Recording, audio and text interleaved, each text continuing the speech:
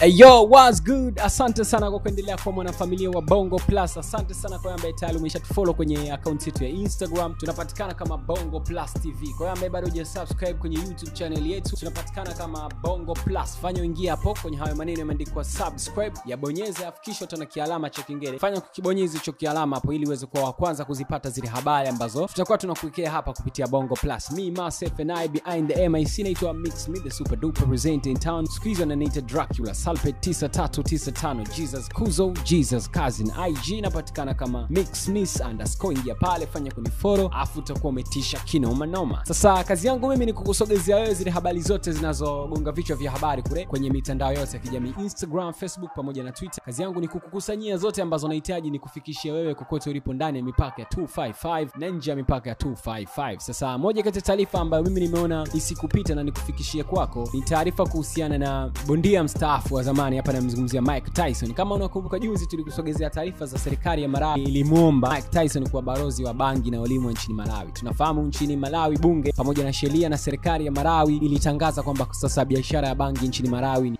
ni halali na ikaahidi kabisa itakuwa ina- inasimamia biashara zote zinazofanyika katika nchi ya Malawi. Sasa baada ya serikali kupitisha uh, sheria hiyo kwamba matumizi ya bangi na biashara ya bangi katika nchi ya Malawi ni halali, sasa ikamwomba Mike Tyson kuwa balozi wa bangi na inayolimwa au inayopatikana nchini Malawi, yeye kuwa barozi wa kilimo cha bangi katika nchi ya Malawi. Tunafahamu Mike Tyson ni moja kati ya wasanii au moja kati ya watu maarufu nchini Marekani ambao wanafanya biashara ya uuzaji wa bangi. Tunafahamu baadhi ya majimbo nchini Marekani imeruhusu matumizi ya bangi ikiwemo uh, nchi kama ya Canada, yenyewe ni nchi nzima imeruhusu kabisa matumizi ya bangi, lakini baadhi ya majimbo yanayopatikana katika nchi ya Marekani, sio majimbo yote, ila- baadhi kati ya majimbo 32 yanayopatikana Marekani, kuna majimbo ambayo yameruhusu upatikanaji au matumizi ya bangi. Sasa moja kati ya wasanii au watu maarufu wanaopatikana katika taifa la plus one nchini Marekani, hapa namzungumzia Mike Tyson, huyu bondia wa zamani. Tunafahamu kipindi kile anafanya mishe zake za ndondi, alikuwa ni moja kati ya, mabondia ambao alikuwa anaogopeka sana kwa vile vitasa vyake. Sasa ukiachana na biashara ya michezo ambayo alikuwa ameifanya, biashara nyingine alikuwa anafanya ni hii biashara ya uuzaji wa bangi ambayo mpaka sasa hivi anafanya. Anaungana na wasanii kama Snoop Dogg, Jay-Z, Wiz Khalifa pamoja na Rick Ross.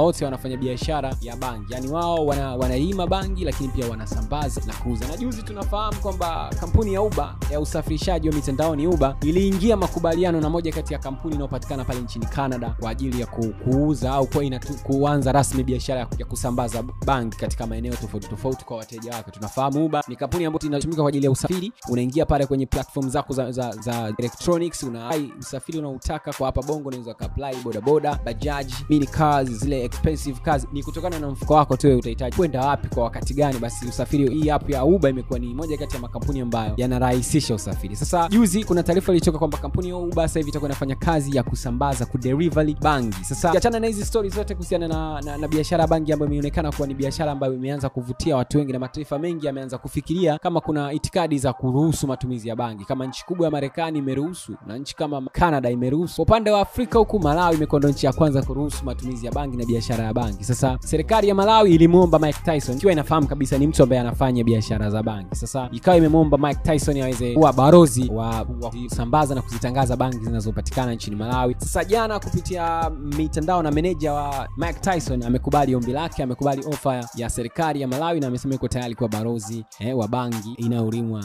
nchini Malawi au inayopatikana nchini Malawi. So hii imekuwa ni deal kubwa kwa upande wa biashara, na hii imeonyesha ni kwa kiasi gani vile vitu ambavyo Tanzania tumekuwa tukivi, tukiviona vina umuhimu kwenye nchi nyingine wameamua kuzitumia kama fursa. Hizo ni kutokana na sheria zao. Kwa upande wa jamhuri, sisi matumizi ya bangi ni kosa la jinai, matumizi ya miadarati yoyote ni kosa la jinai. So usijaribu, usimuone Mike Tyson anafanya biashara mwanangu ukajiingiza kwenye hizo biashara, miaka 30 na kuhusu. Eh, sasa cha kufanya ni wewe kuendelea kufuata sheria za taifa lako, usiige yale mataifa. Kazi yangu mimi ni kukusogezea, na mimi nilichofanya ni kukusogezea taarifa ya Mike Tyson. Sasa cha kufanya ni wewe kuendelea kwa karibu na peji zetu za Instagram, kule tunapatikana kama Bongo Plus, YouTube tunapatikana kama Bongo Plus. Nilikwambia kama bado hujasubscribe, hujachelewa, fanya kubonyeza maneno hapo subscribe, afuta kometisha kinoma noma. So next time is gonna be a good big shout out kwako